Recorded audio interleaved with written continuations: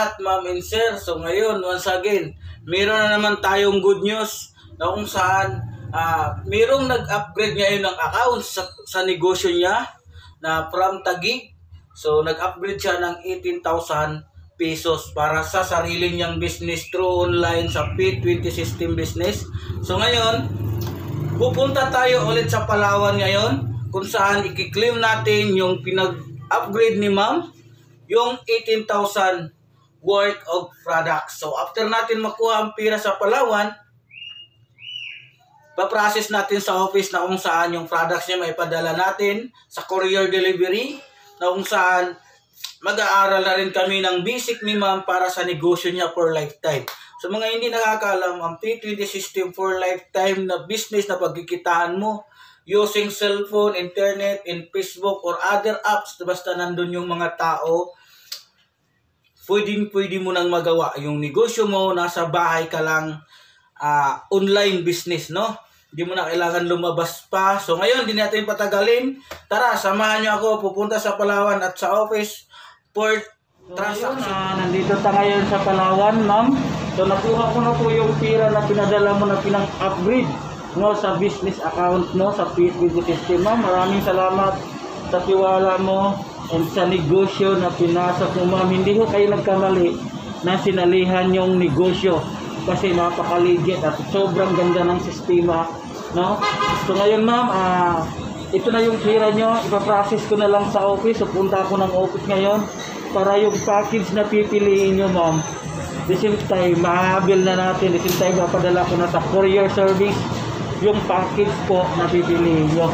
So ma'am ito ah maraming salamat po sa pagtitiwala nyo sa amin dito sa negosyo. The same time ma'am ah, pagtutulungan natin yung business at hindi mo gagawin mag-isa ang negosyo. The same time ah, nandito po ako para tulungan ka. Nandito po kami para i-guide kayo para kumita tayo ng lifetime business. The same time mas marami pa tayong matulungan kumita na gustong magkaroon ng opportunity na panghabang buhay na pagkikitaan na using cellphone and internet. So yan lamang po. So tara, pupunta na ako sa office. Naman, so ngayon ma'am, nandito na ako sa office ma'am para i-process natin sa cashier. So yan yung cashier ma'am na, na dyan natin ipa-process yung pera mo. At the same time, dyan din po i-release yung product dyan sa releasing dyan, nakikita mo. So yun po yung releasing ma'am. Tapos ngayon, ito yung office, ito yung ano ma'am, ito yung waiting area sa mga tao na mga transaction. So kung nakikita mo, may mga tao na nagpa-practice ng transaction. So yun lang, so maraming salamat naman sa tiwala mo sa PPD system. So former teacher, so sa mga hindi pa nakakaalam, so, paano ba gawin ang PPD system kahit busy ka sa trabaho mo? Kahit nasa government employee ka, OFW ka, na ikaw yung tipong tao na gustong kumita. Ikaw yung tipong tao na makapagdagdag ng additional privilege para sa pamilya mo. So, ito na yung chance na para magkaroon ka ng savings na saan pwedeng pwede mo magawa itong negosyo na ito na ipagsabay sa trabaho mo.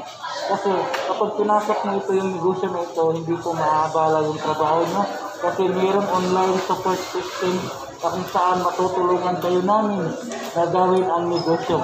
Diba? So yun naman po ma'am, maraming salamat and God bless. Ayan, si Coach Regan, yan, yan yung package niya, Hello. ang dami. Coach, ah, thank you Coach, no? Ayan, Sa welcome. So, tiwala mo.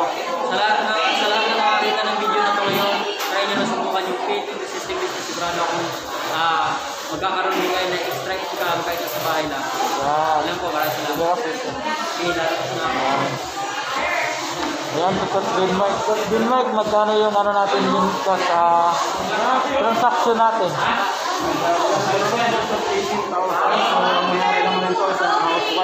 sa cashier naman sa Robinson. So, yan, kung ikaw nanonood ka ngayon, so maganda subukan mo lang din. Grabe no, so sobrang daming transaction dito sa office yan.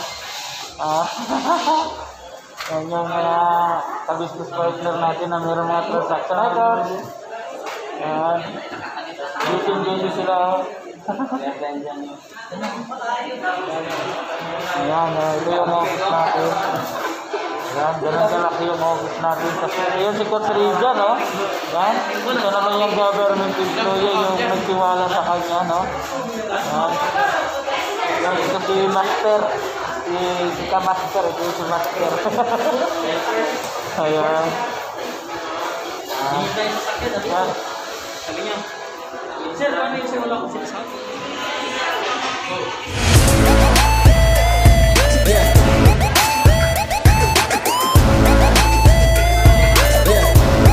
kaibigan natin na nagtiwala. So ngayon tatanungin natin siya kung ah magkano ba yan coach yung transaction mo today? Ang transaction ko today is ano, 134,000. Ito naman sumali sa akin ah, sa Philippine Air Force naman siya. So, ayun, nagtiwala, landing ginawa yung business. Hindi nagustuhan niya yung business package namin kasi sobrang ganda ng kita nun. So, ikaw, try mo din tingnan yung sistema ng P20 system. Sigurado ako mas magustuhan mo yun kapag nakita mo na. Papaliwanag sa'yo ng taong nandito, nagbibideo sa kanya. Nga coach, maraming salamat coach, maraming salamat. Siyempre, kasi